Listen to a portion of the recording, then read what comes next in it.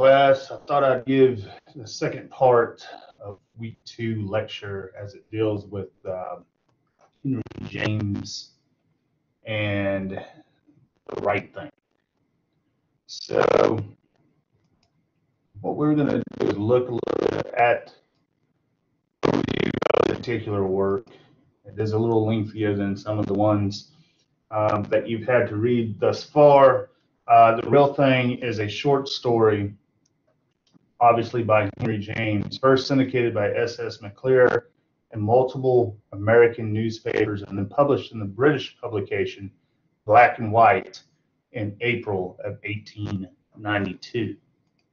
So we're really dealing with, with both of these authors this week.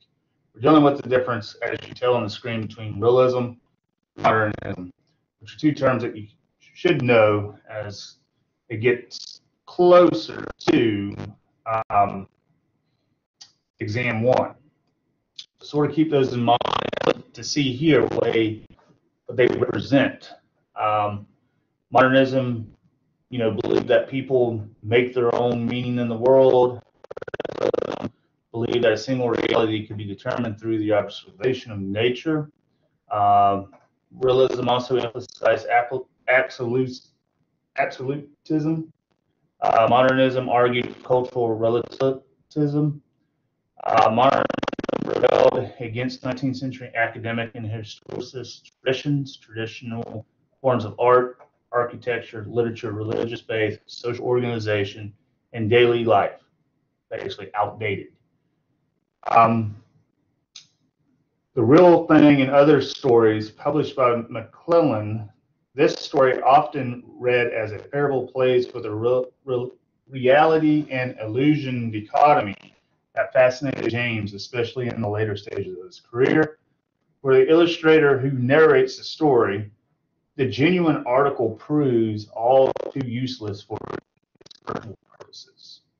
The story portrays the unfortunate events of a society in which reality and representation are closely intertwined in ways that make art a difficult project disentangled the two. So, a basic plot summary of the real thing by Henry James is that we have an unnamed, we have a narrator, an unnamed illustrator, and aspiring painter hires a faded genteel couple, the Monarchs, as models after they have lost most of their money and must find some line of work. They are the real thing in that they perfectly represent aristocrat type, but they prove inflexible for the painter's work. he comes to rely much more on two lower class subjects who are no, nevertheless more capable. Oriante, an Italian, and Miss Frum, a lower class Englishwoman. The illustrator only has to get rid of the monarchs, especially after his friend and fellow artist Jack Hawley criticizes the work in which monarchs are represented. Hawley says that the pair has hurt the narrative's art, perhaps permanently. In the final line of the short story, the narrator says he's content to have paid the price for the memory. Some major themes in this particular work by Henry James. James plays with the exact meaning of the real thing throughout the story's plot, which was suggested to him by George du Maurier. The monarchs may be the real thing when it comes to country house visits and drawing room conversations. But the Italian Oriente and that lower class English woman, Miss Frum, are just as much the genuine art of professional model. Late in the short story, the monarchs desperately try to keep their jobs by actually becoming servants to the narrator. Miss Frum and Oriente in superb example of Jamesian chiasmus. Commentators have noted a bit of fantasy wish fulfillment in the tale. The painter is hired to illustrate a series of novels by the rarest of the novelists, who, long neglected by the vulgar and dearly prized by the attendant, had the happy fortune of seeing late in life the dawn and then the full light of higher criticism, an estimate in which, on the part of the public, there was something really of expedition. James' own laudatory criticism would come only posthumously. Critics have generally praised what one of them called one of James's neatest tales, important as poignant fiction, aesthetic parable, anti-aristocrat satire, and sunken autobiography. That James was able to fit so complex the subject into under 10,000 words was genuine triumph of his own by now completely mature technique. James does not make into an arid demonstration of a debated, debating point. Characters all come alive as fully individualized creations. The incompetent monarchs are sympathetic, and the narrator himself is memorable for his increasingly depressed, desperate, but ultimately futile attempts to help them.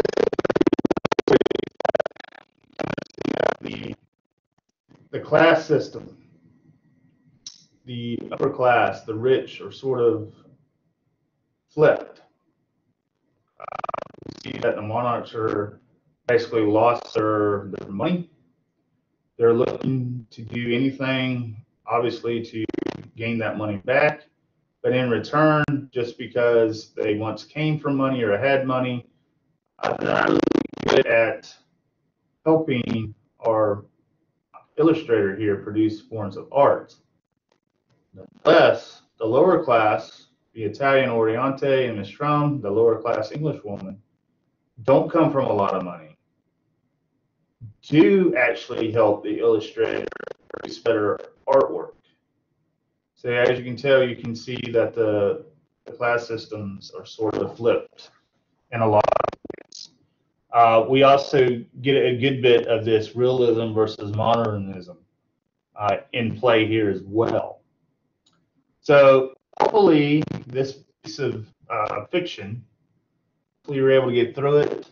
Uh, I look forward to reading uh, your response not only to one of the two questions, but also how you reply to one of the two uh, answers one of those two questions based on one of your peers or your partners in the class. And I hope everybody has a great, wonderful, long weekend. This will be sort of our last holiday weekend until Thanksgiving. So uh, kind of keep that in mind. Week three um, is already up. As you know, at, I'll go ahead and click on that so we can see what all is entailed for week. Remember week.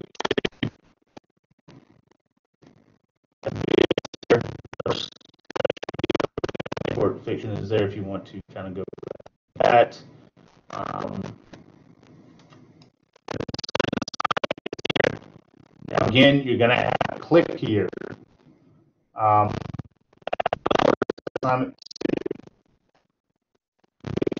one of these two based on the reading reading answer the questions in about 125 words and then what you're going to have to do is you're going to have to create a journal entry to be able to post your answer to one of those two questions now keep in mind like i said in the first video comment section seems to be only working on my end uh, you're not necessarily going to be able to hit a comment section on a peer's uh, particular post. So what you're going to have to do to get full credit, obviously, is you're going to have to go back. You're going to have to see once everybody starts posting. Hopefully, um, majority of the class will start posting their uh, their response before Sunday, so that it'll give everybody enough time to come back, read through those response responses, and pick the one that you want to respond to.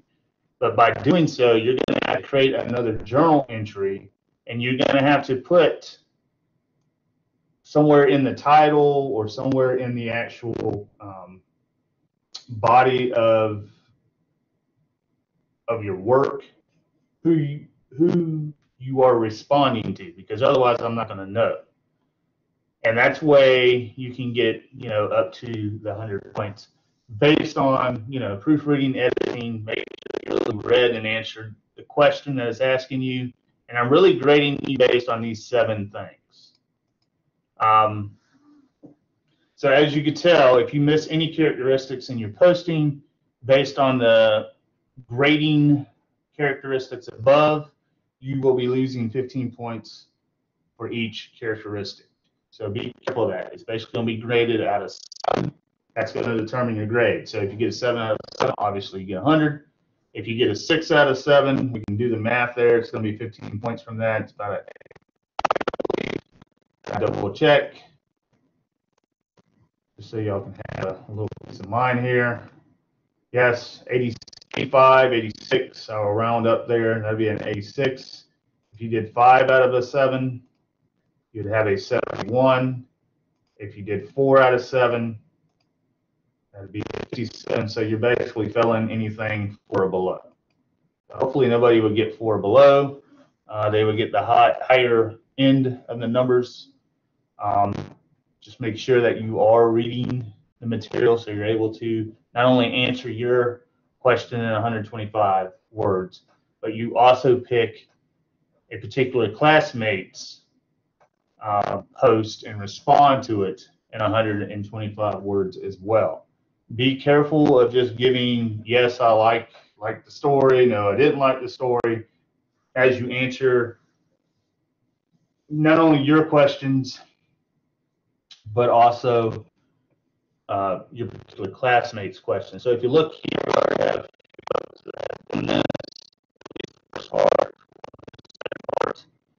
um, and that's how you would do it. You would have uh, Williams as her particular first post, which she did, and then she went back and answered on somebody else's, but we have to kind of see who she answered on. Um, and that's sort of kind of the the issue. She's replying to Dallas. So make sure you put who you're applying to so I can give you credit for your particular, not only posting yours and um, the reply to one of your particular classmates. After that, I mean, she's already got pretty much 50% of her grade because 50% of it was just posting hers. Now I have to go back and kind of read both her particular answer and the one that she replied to. And as long as, uh, you know, it meets the criteria of these seven items, should be on her way to her A, I hope. And I hope that's, you know, for everybody. I know the quiz, several folks didn't make last week, you a answers pop up at the end, so you can check yourself before I actually check yourself when it deals with a quiz.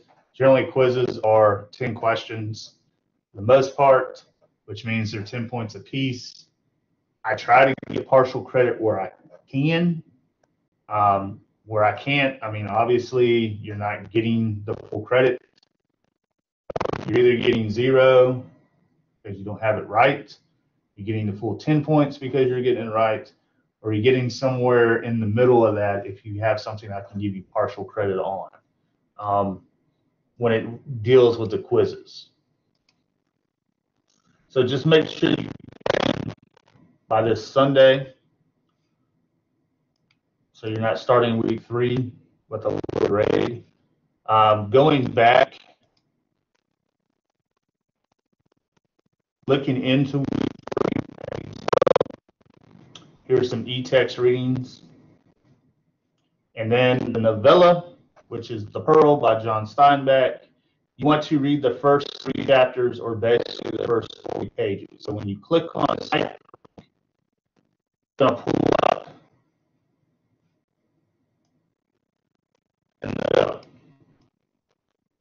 and pages on the actual text, not the page up here, because as you can tell, I'm basically on page six and seven here, but it's showing four. So you want to read all of this up to chapter three. For the most part, the chapters go fairly fast. So you want to read through chapter three uh, for week three. Chapter three is a little lengthy, it seems, but not too bad if you start early enough. Week four, you would pick up and read four through six, which I believe will cover the rest of the novel or rest of the novella. So, in a lot of ways, when you look at it, you have about 90 pages of reading, or when you combine week three and week four together. Probably what I would do, honestly, if you if reading is not your thing, I would do this because you know we got 90 pages you got to read in the next two weeks. I would start doing sort of a daily schedule of this is how much I need to read. So let's say, you know, hypothetically, let's say you start because week three is open. So let's say you start reading a little bit today. And really, week three starts next week, and then you have week four that would start on the 11th. So if you look at this point, we would have, let's see, one, two, three, four, five.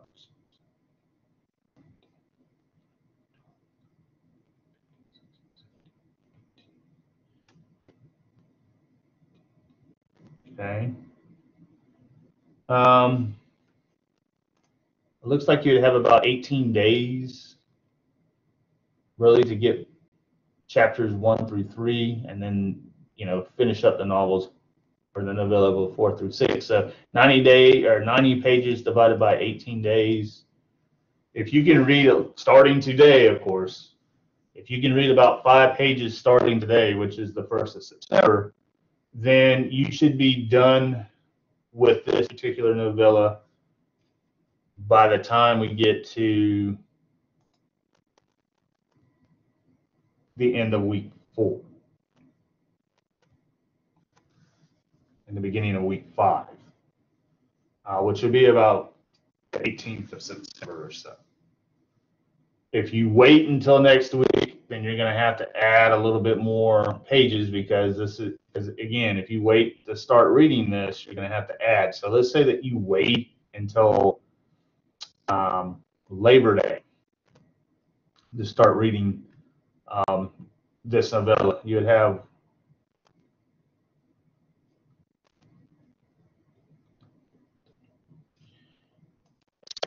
having 18 days, you would have about 14 days to read these 90 pages.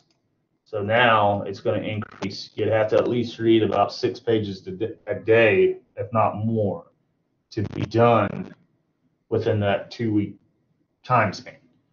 So again, you want to smarter and not harder. I wouldn't wait, obviously. This is just me. I wouldn't wait until September 9th to try to read the first three chapters because if you wait Friday, Saturday, and Sunday, and plus you still got a quiz next week, it's due next Sunday.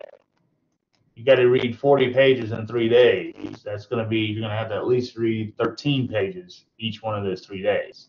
If you wait until Saturday next week to read 40 pages, you do the math there. You have to do 20 pages. And if you wait to do it all on Sunday, then you got a lot of reading to do on top of um, the quiz that deals with the first three chapters, and then the other textbook reading that you had to do in your e-text. So you're looking at at least, you know, a lot of stuff that you have to do there at the very last minute. So I wouldn't wait until the last minute to start on this novella. I would get to it as soon as possible um, because the second quiz is going to be due on the 11th. It's going to be a, a true and false quiz. Some folks think that those are easier, and, and really it all depends on how well you the first three chapters, those first 40 pages. Um, looking at week four, we want to finish the novella by the time we get to the 18th of September. And we'll have a assignment that deals there, which would be due on the 18th. I have to get ready. Um, five is going to be the assessment week. That's when we finish the fiction section. That's where uh, the fiction exam is going to be due on Wednesday of that week, which I believe is the 21st.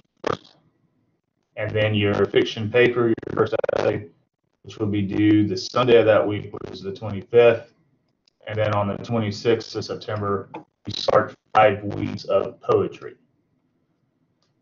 So moving along, like I said, enjoy the Labor Day weekend because that's the last holiday we're going to have until Thanksgiving. So we pretty much have to go the rest of September, all of October, and a good bit of November before we have another long, lengthy break. I hope everybody has had a great week two. I hope week one wasn't too uh, terribly stressful. And I hope week three, uh, the good grades and the momentum continues as we go through week three to week four basically by, by the time we get to week four, we would be here um, for about a month. I will um, let you know that during week four is going to be the first sort of grade checkpoint that we're going to have to, that all instructors are going to have to send to college. So if you are got a D or lower, you're probably going to get uh, a phone call, an email, snail mail from somebody at the college wanting to know why your grade is low. Uh, if you're part of a dual enrollment, you're probably going to get some um, email, some discussion from your high school coordinator and stuff about why your grade is so low. You have another uh, checkpoint around midterm, which would be week eight.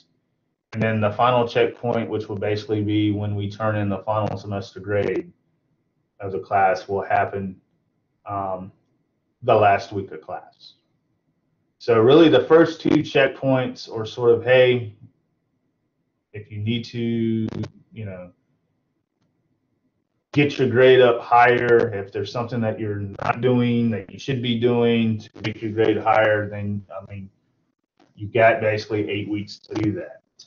Um, I would say if your grade is continuing to slip by the time we get to the middle of October, which would be again week eight, midterm week, then you might want to start doing some soul searching and thinking about um, should I withdraw this class and take it again in the spring when I'm a little bit more focused and I can keep my grades up.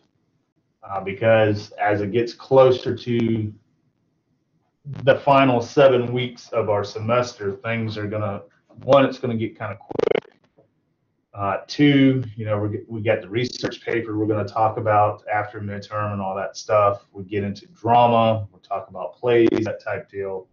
Um, so it, I wouldn't say it necessarily gets any more challenging. It could, especially if you're not doing so well the first eight weeks. Then the last seven weeks are not going to be really uh, kind to you. Um, but you're going to have to keep up with the weekly reading You're gonna have to make sure that you're following instructions. If you don't understand anything, you're gonna need to either get with Smarthinking. You're gonna have to come see me either for virtual tutoring or in-person tutoring. You're gonna have to email. You're gonna have to send drafts of your essays. Uh, you're gonna have to read the material, take your own notes, watch the videos. Um, you know, read and watch some of this stuff multiple times. You know, you're just gonna have to make the efforts if you want to get the C or higher in the class. Um, but I'm here to help. I want to help. I don't read minds. So if nobody speaks up or nobody sends me an email or nothing like that, I'm just going to assume that you understand what you've been doing from week one to week two and so on and so forth. So if you need help, please let me know. Let me know before it gets too out of hand where it's hard to get the help that you need in a timely manner. I mean, don't, you know, don't freak out let's say Sunday when you have to do this uh, particular journal or this discussion post and you start blowing up my email, it's due at 11:59, but you start blowing up my email at 9:45 at night. Um, there's not really much I can do at that point, considering you had the entire week of week two to get help, and not only that, this, you know, I open up the next week's folder uh, half week during week one. So you basically had, you know, half a week of week one and all week of week two to get help. So if you're waiting to the last minute, that's time management and procrastination on your part. That's not on me. Um, so you might want to re, you know, rethink your strategy. Um, obviously, this is not high school. You're not going to necessarily wait till last minute throw a couple things down and be done in 30 seconds or 30 minutes or whatever it's going to be. Um, you're not going to be able to do too well in this format of the course if you wait until Saturday and Sunday to do a lot of these assignments. Um, not too many people can speed read and speed read for comprehension that they will need to do well on the weekly assignments most folks that think they can speed read can't because when you know I try to test them or quiz them on what they read, they can't remember anything they read.